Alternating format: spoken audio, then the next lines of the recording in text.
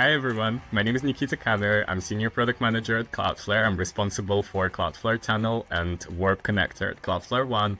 I've been at the company for uh, more than five years. And today I'm very excited to welcome you to a very special week here at Cloudflare.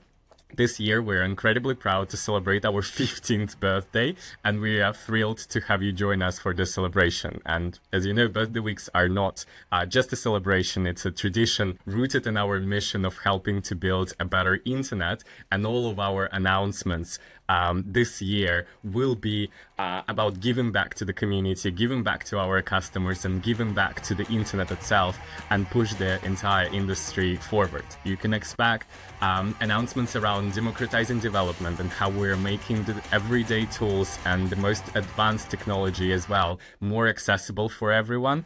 Uh, how we are um, building the future of the of the internet with the next generation of developers. We will also continue talking about uh, topic du jour, AI audit, and crawlers, and uh, how we can make an internet a safer and more open and collaborative space for everyone.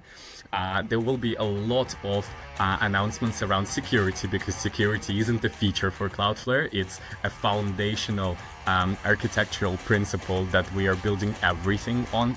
Um, of course, our beloved developer platform will come very strong with dozens of announcements about long-awaited products and uh, technologies uh, that we are making more accessible uh, for everyone. And then to wrap it all up on Friday, we will be talking about the engine that makes it all possible, our global Cloudflare network, and how we made everything faster. You don't need to do a thing to benefit from it.